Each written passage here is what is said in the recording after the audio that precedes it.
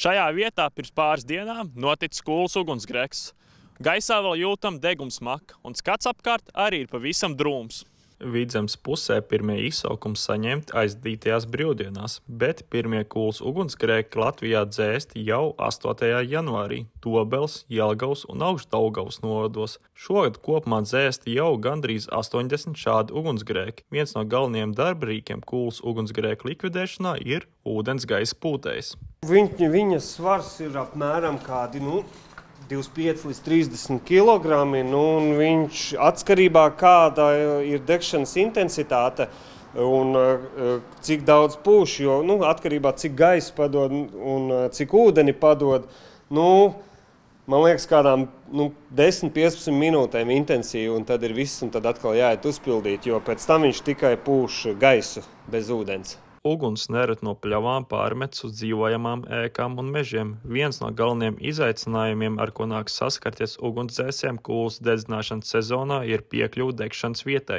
Tehnika nevar iebraukt līdz notikuma vietai, tad mums tas viss ir jādara ar rokas instrumentiem un ar kājām jādara, un tas paildzina visu laiku un notiek pēc nu, lielākas izdegušās platības notiek un, un postījumi ir lielāki. Andris, kuru vārds ir mainīts, ir kūlas dedzinātājs. Viņš atzīst, ka iemesls tam ir vienkārši slinkums rudnī nopļaut zāli. Vienmēr esmu to darījis kontrolēt vietās, kur mitrs, piemēram, graumalas, bet nu, vienmēr, vienreiz ir gadījies, ka liesmu nesavaldīju un uguns paņēma vairāk kā paredzēts konkrēti jaunaudzi. Pārāk neesmu aizdomājies par postu kukaiņiem un dzīvniekiem. Vairāk vienmēr rūpējos, lai uguns netiek pie ēkām. No, no tādas regulāras kūlas dedzināšanas tas, kas notiek, mainās augsnes sastāvs.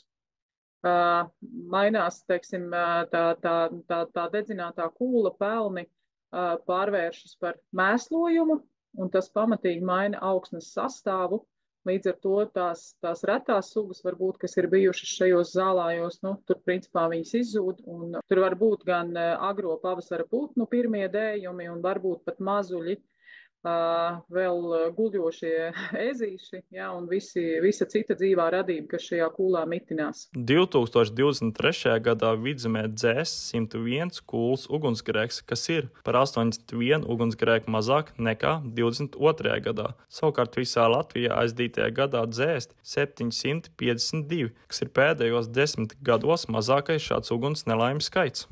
Nu, tas galvenais iemesls ir šīs nesakoptās teritorijas. Tur, kur ir piemēram rudenī zāle nav nopļauta, ir dažādi nezinu, atkritumi sakrājušies, un tur arī nelielai dzirkstelei ielecot šajā sausajā zālē arī izceļās šis ugunsgrēks. Par kūlas dedzināšanu fizisks personis var sodīt ar naudas sodu no 280 līdz 700 eiro. Jāceras arī, ka VUGD sadarbojas ar lauka atbalsta dienestu, kam sūta informāciju par kūlas degšanas vietām. Ja deg kūlas zemes īpašniekiem tiek samazināts Eiropas Savienības platību maksājums. Miks Kunciņš, Dāvids Ieviņš, Latvijas televīzija.